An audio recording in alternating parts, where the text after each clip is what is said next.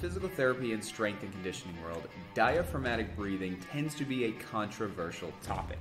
Depending on who you ask, you'll get different answers as to what's right and what's wrong and what should move and what shouldn't move. But at the end of the day, your execution needs to align with your intent. So the way that you're coaching that breathing, does it truly align with your overall goal? Ultimately, that's what's going to make it wrong or right. However, with that being said, I feel there are some myths that we can debunk when it comes to diaphragmatic breathing. And what I want this video to do is to help you gain a different insight and a different perspective on breathing so that you can utilize it to help restore movement, range of motion, and performance in your patients and clients. All right, so I brought out John Bones Jovi, who will help us demonstrate diaphragmatic breathing. Now, in order to understand diaphragmatic breathing, you need to understand the biomechanics of respiration. And here's the thing there's a couple key foundational aspects that you really need to understand so that you can then modify or manipulate a movement that is specific to your patient, but in a way that still aligns with your intent, right? At the end of the day, we're trying to make sure that we are in connection with our goal and our execution right? So with diaphragmatic breathing, you still need to understand some basics of respiration. So, a very simplified approach is that I want you to think of three things. We have the pump handle or the sternum, the bucket handle or the lateral border of the ribs, and what's not here is the diaphragm. But the diaphragm has attachments on the xiphoid process, the costal cartilage of the ribs, and the lumbar spine, which is why it has a very big impact and response to movement and patterns and postures, but also it's going to be very, very easy to understand what it's experiencing based off the rib cage and the lumbar spine position. All right, so let's start with inhalation. During inhalation, the pump handle should open up anterior to posterior. The bucket handle should open up laterally, and the diaphragm should descend down. On exhalation, we get just the opposite. We're going to get compression of the pump handle. We're going to get compression of the bucket handle. And the diaphragm is going to come back up. Okay? So now that we understand that, there's one other piece. That other piece is air, aka oxygen. Now, again, thinking in this simplified approach, I want you to just think about air as being the laziest person you know. Now, most lazy people are going to choose the path of least resistance. So, when it comes to air, that means that it is always moving from concentrations of high to low, right? It is seeking the least amount of resistance. It is not going to go up against resistance. Now, if you want to see and feel that out for yourself, all you have to do is do a side bend on one side Bring your hand on the opposite side, keep your side bend, and take a nice inhale. As you take your inhale, you should feel and see this opposite side expand.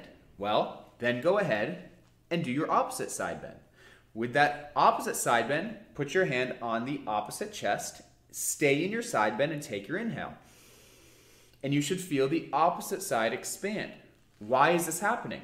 We're creating compression, which is also known as resistance, and the air, the lazy person, is finding the path of least resistance or the lowest concentration and moving over there. So, what does this mean with diaphragmatic breathing? Well, this means that when you watch your patient or client breathe, where they are breathing is going to be it their least resistive, their lowest concentration place. So it's going to give you a lot of insight as to what's potentially moving, what's not, and is that good for your patient or client.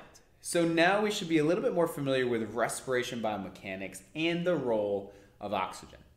Let's move back to the intent of the video, which is diaphragmatic breathing.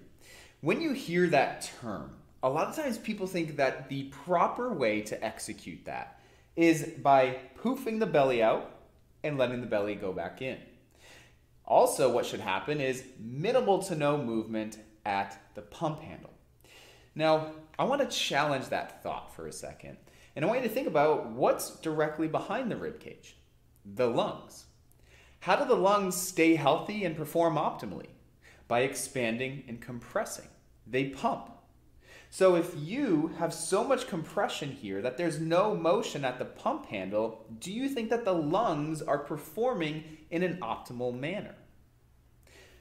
Additionally, I want you to think about the correct way and the ideal movement that we're looking for with the diaphragm is that up and down motion. What is going to produce that up and down motion? It's going to be the pressure gradient. It's going to be the influx of air through expansion here, which is going to push the diaphragm down. What's going to allow everything to recoil is when the diaphragm descends in a proper way and then can recoil. Just like with any muscle, we're going to see that. So when you just do this belly breathing, is that really the diaphragm moving in an optimal way? Or is that just your body's response to the resistance it's feeling? What I mean is, if there's so much compression here, because we know air is a lazy person, there's nowhere for it to go besides here. In an ideal world, we want to allow the pump handle to move. We want to allow the bucket handle to move so that we can appropriately move and ascend and descend the diaphragm. To me, that's proper diaphragmatic breathing. So we don't necessarily want just movement here. We don't want just movement here. There needs to be a variable motion of inhalation, allowing this to descend, but it needs and only can descend from this expanding, which pushes that down. So when we coach our patients and clients through diaphragmatic breathing, I want you to start to challenge yourself and think about am I really getting the outcome that I want? Is this effectively working the diaphragm or is this person just breathing because they're met with so much resistance that there's only one option? At the end of the day, when the body only has one option, you normally develop patterns, and those patterns normally turn to pain. Why? Because they don't have variable motion. And when we don't have variable motion, we tend to have pattern and pains. So, what I want you to do instead is I want you to respect and understand the role of air, the role of compression and expansion, because what that's going to do is get you to uh, be able to ascend and descend the diaphragm and not just be stuck in a pattern. So to get the breathing patterns that we want, you need to look at your patient or client and understand how is their posture reflecting their breathing. And if someone is just getting belly breathing, it's probably because they're in a state of extension. That extension, again, is biasing resistance in places and expansion in some places. And air is going to go in the least resistive location. So what I want you to do is first start people in a supine position with their knees bent and just get them to understand how to stack their pelvis over their thorax, right? So normally you have to do this with a slight posterior pelvic tilt. And understand that once you're in that stacked position, you start to change the shape and position of the rib cage and the pelvis. That is going to have a response on where is there resistance versus where is there not. So that's number one. And if, and if that doesn't work, try quadruped. Quadruped's a nice way because you have gravity. It's going to let this open up through its natural mechanisms of gravity. And in that case, you can work on getting some expansion here and getting a little bit more compression here. Because at the end of the day, you need to make sure that your patient has that variable motion. That variable motion is going to lead to better diaphragmatic breathing because the diaphragm is going to have leverage to ascend and descend because it's not being met with just one particular pattern. So I hope you found that valuable. Let's go through a quick recap so you can understand the main takeaways. I want you to feel more confident when it comes to diaphragmatic breathing. And I want you to start to move away from just the belly breathing aspect, but really understand functional biomechanics and understand how do I get full movement excursion available to the diaphragm we have to start to understand that is the position and the pattern or posture that we're in creating a very one direction or one way street for our diaphragm to move through. we need to improve movement excursion of the diaphragm to be able to ascend and descend. And we need to do that by understanding resistive patterns, right? Is my patient or client too compressed, which is causing them to only move the belly? If that's the case, we need to start changing our pattern and posture. Why? Because the diaphragm, based off its attachments, are going to be directly influenced.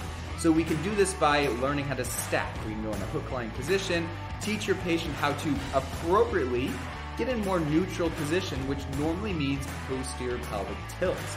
Once you're there, if that's still a difficult time for your patient, feel free to go to a quadruped position. Quadruped is going to let that pump handle expand based off the influence of gravity so that you can start expanding there and start moving the diaphragm through its full movement excursion.